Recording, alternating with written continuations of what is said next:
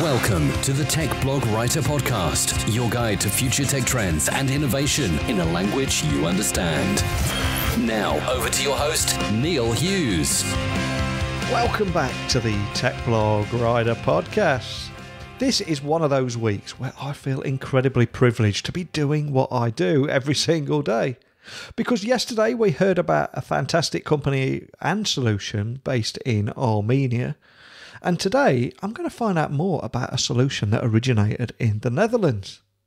And it all began back in 2010 when New Day at Work was founded with one simple goal challenge that traditional desktop and all their suppliers and rethink how employees get their job done.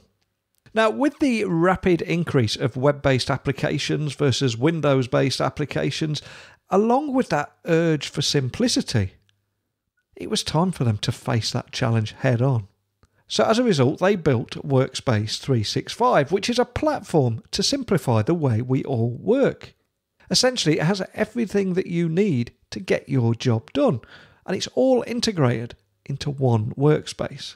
And it does this by presenting employees with that complete workspace, including it in their web based apps, Windows apps, and Workspace 365 apps all with one thing in mind to simplify existing applications such as SharePoint, SAP, and all those other familiar business application names. So, from a technology perspective, they chose to fully integrate with leading technologies such as Office 365, Citrix, and Windows as, as well. So, today's guest is Erik Nicolai, and he's the CEO of Workspace 365, whose challenge is simplifying complex IT cases to enable anyone to understand it and use it. Intrigued? I know I am. This is my kind of language that Erik was talking here. So buckle up and hold on tight so I can beam your ears all the way to the Netherlands where Erik is waiting to speak with us all about Workspace 365. So, a massive warm welcome to the show, Erik. Can you tell the listeners a little about who you are and what you do? Yeah, thanks for uh, having me, uh, Neil. So my name is Erik Nicolai. Uh, I founded New Day at Work in uh, 2010 and been working on this since. Fantastic. Now, since 2010, Workspace 365 has been simplifying and combining all of the business's applications, information, internet, and document storage all into one digital workspace for every organization.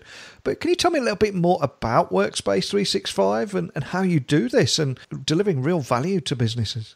Yeah, sure can. So what we saw in 2010 is that more and more companies were starting to use SaaS-based applications, so browser-based applications that run in the browser rather than being installed locally. And and we thought if this is getting bigger and bigger, this would have a big impact on the way we consume applications, and more importantly, how this comes down to the desktop or where we work on on a single day. Um, so uh, we set ourselves the goal to integrate and aggregate everything what people are using today, just with the goal to simplify how we get our job done. Um, and uh, with the digital workspace, we mean that in a, every morning you just open up your workspace and all your apps and information that is relevant for you just comes together in a single place rather than having to go to three, four different locations to get to the relevant apps and to get to your information. And do you have any stories from any of your customers or partners that you can possibly share with people listening? Because we're going to have people listening all over the world. I think it'd be great to help them understand how it would actually work in their world and in their business. Yeah, sure. So we are a Dutch company, uh, as you can probably tell from my accent. Uh, while I've been traveling around the globe, uh, I used to never lose your Dutch, your Dutch accent, can you? um, so we have customers in from ranging from New Zealand to, to, to, to the US and everything in between. Uh, we have the strongest footprint in the Netherlands. This is our home market. And, and we see a, a, a, a huge presentation from customers in healthcare and specifically care side. Um, and and our biggest customers chunk is kind of the customers where employees are very mobile and not so much specifically touched and, and, and tied to one single device. Uh, and if you, for example, see in healthcare that we have customers, they have their employees working on, on patients on the either on the bed or in the houses, and they just need to get to their to their apps with a single click. And uh, we had customers where previously they had to kind of power on the laptop, wait like five six minutes before their profile was enabled, uh, and there was like a 10 minute visit to to to to customers. So by reducing the amount of time they spent on kind of uh, administrate, uh, administrating the things they need to either uh, write down from, from, from their patient or access an application. If you can do this in literally seconds rather than minutes, um, every every visit becomes so much quicker. And I think that's just a specific example in healthcare, but we see the same in retail where we have employees who are not so IT savvy. And, and in general, let's say desktops and, and workspaces can be consumed as quite complex. Where where do I need to go? That question is already raising up their CPU on a daily basis. And if you can just simplify, so just you go to your workspace, everything is there. You don't have to worry about how it works; it just works for you. That just kind of helping people just to focus on what's important rather than to worry about their IT stuff. And I'm curious though. I mean, what was the story behind Workspace 365? Uh, what happened back in 2010 to make you guys think, you know, enough is enough? We're going to build a better way of working.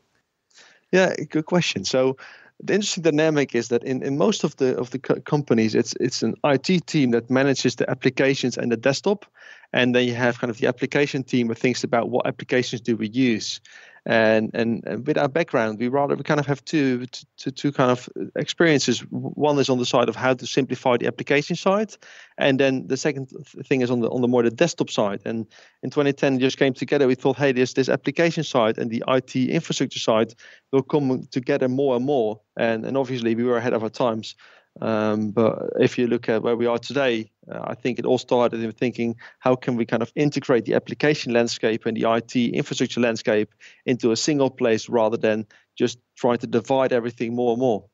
And like you said a few moments ago, you are based in the Netherlands. And on this Daily Tech podcast, I speak with people all over the world every single day. And I'm always quite keen to hear about how the startup economy is transforming the lives and the businesses of people all over the world.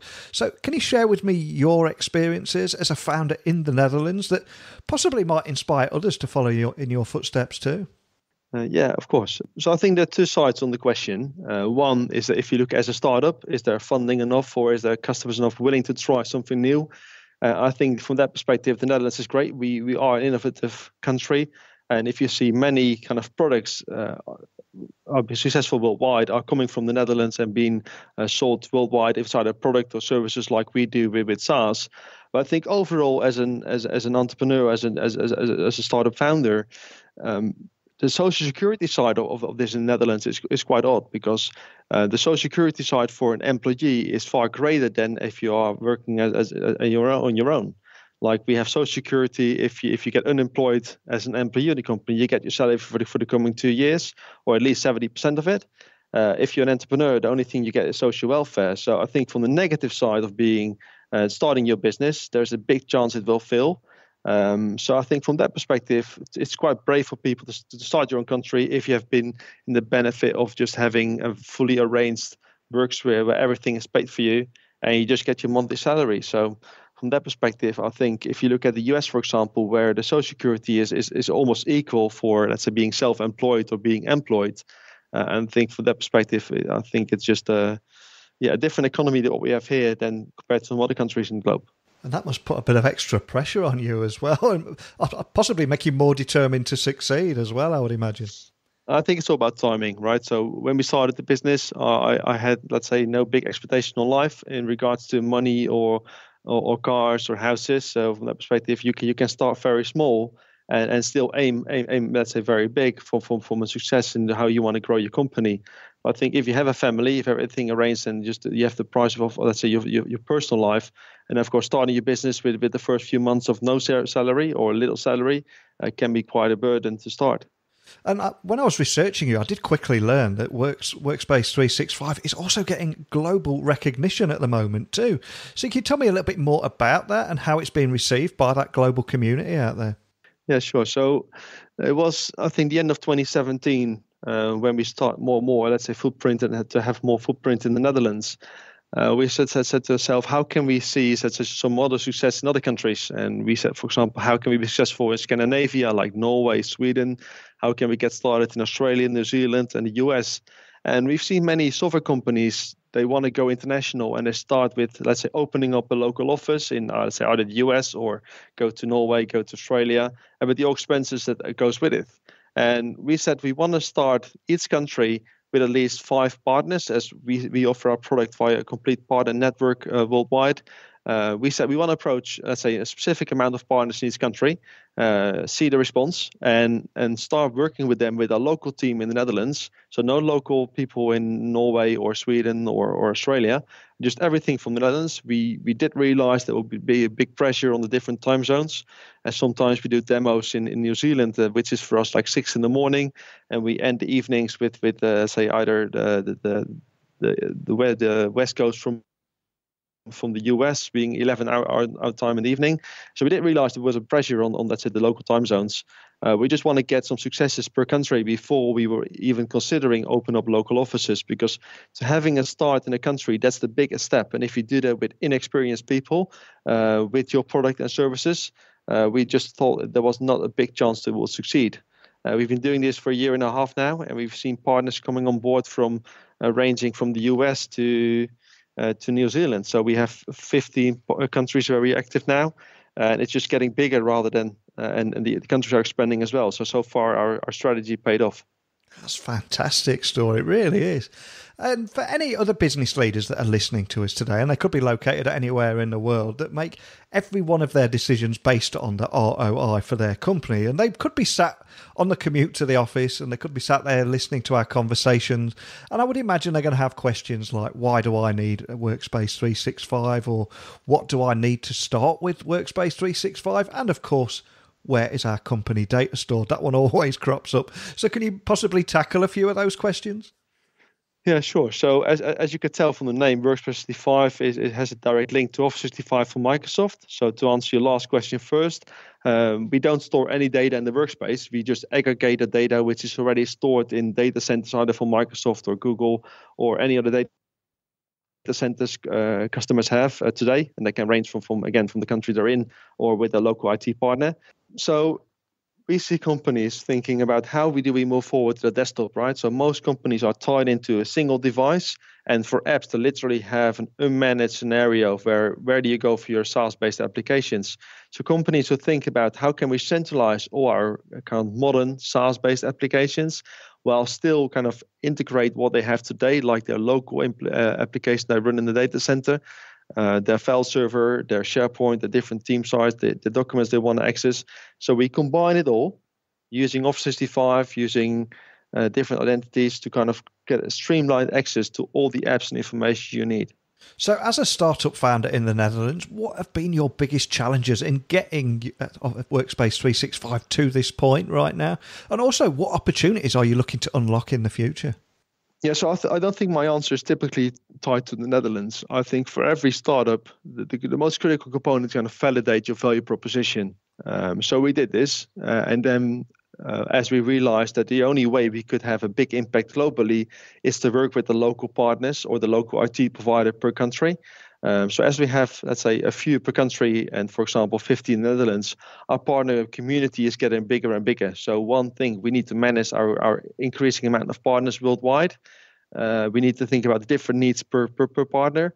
But more importantly, the biggest challenge we face is like how can we enable the partner from saying, hey, this is amazing, this is something we need to help them to be successful right? To, to, to help people see, hey, this is what we need, to help them implement a value proposition that allows them to really tie this into their products.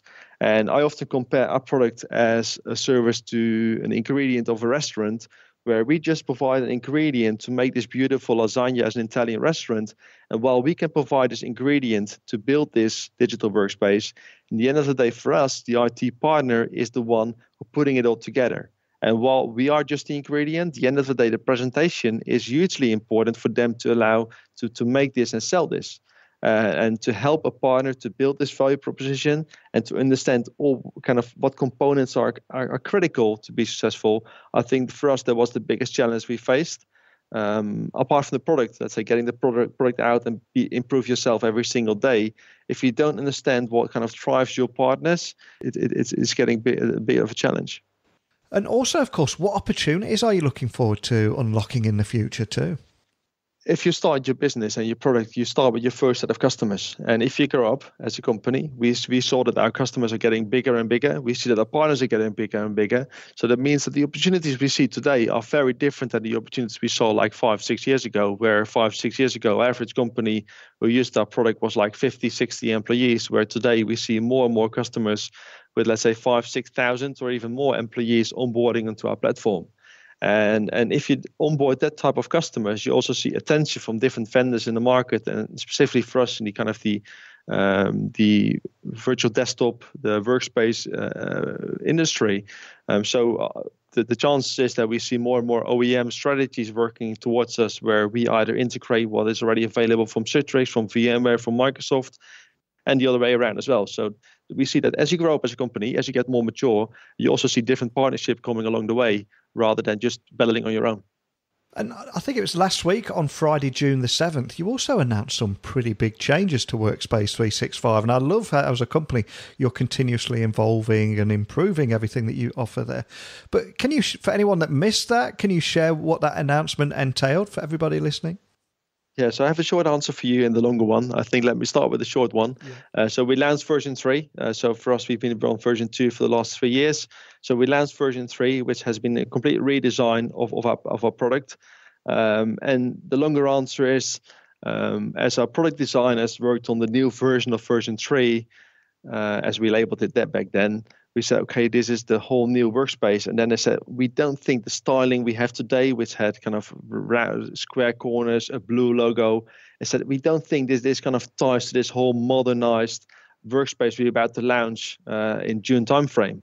Uh, so we decided it was time for a complete rebrand, uh, not just the product, also the logo, let's say everything website, and also the office. So we went from completely blue uh, to purple, pink, and orange. So orange to tie into the to the Netherlands, and purple to show how we can modernize and can be, be a little bit different than everyone in, in let's say the logo land who, who kind of follows for blue and red. Fantastic. And just before I let you go, could I ask that you remind everyone listening of where they can find you online? So, what your website is, your social channels, and also how anyone listening could possibly contact a member of your team if they are left with any additional questions after listening to our conversation. Yes, yeah, sure. And I think the way we all do it, if you just Google, we type in workspace365.net or you just type in workspace uh, you will find our website or our key contact information. And I think that's much easier than just to remind you where to send the email to or where to find us on Instagram or Facebook or anything else. So Google Workspace you see how the product can kind of fits, fits in all together and how we aggregate everything to a single single place for employees every single day. Excellent. Well, I'll add all the links to those to your website and the social channels on the blog post that will accompany this podcast. Uh, but more than anything, just a big thank you for coming on and joining me today. I've loved listening to your story, and I know it's going to bring so much value to people listening all over the world. So thanks for coming on today, Erik. Thank you, Neil. Thanks for having me today. I love how the role of technology in innovation has always caught Erik's interest, especially because consumers appear to adapt to innovation so much earlier than businesses. Because as consumers, we synchronize our grocery list with our housemates and, and order food via the internet. Whereas the businesses, they're the ones that are getting left behind because they keep working with outdated software because, hey, that's what they've always done. So Erik's goal was simply to help businesses with technologies that can simplify their work. So they built an ecosystem to enable partners from every level to share knowledge in order to stimulate innovation. Now, innovating companies together using powerful technologies, for me, is a great example of how technology works best when it brings people together. But that's what I'm walking away from today's interview with. But now it's time for me to turn the virtual mic back to you and ask you what your thoughts were about today's conversation and any of the topics that we discussed there. And you can do that by emailing me techblogwriter at outlook.com, tweet me at Neil C. Hughes, or simply just drop by my website, techblogwriter.co.uk. Now, I'm feeling a little bit sad today because it's been raining all week here in the UK. No sign of the hot British summer that we had last year. So I'm going to sit in a room and feel sorry for myself, waiting for you guys to send over your messages and prepare for tomorrow's guest. So a big thank you for listening. And until next time. Don't be a stranger. Thanks for listening to the Tech Blog Writer Podcast. Until next time, remember technology is best when it brings people together.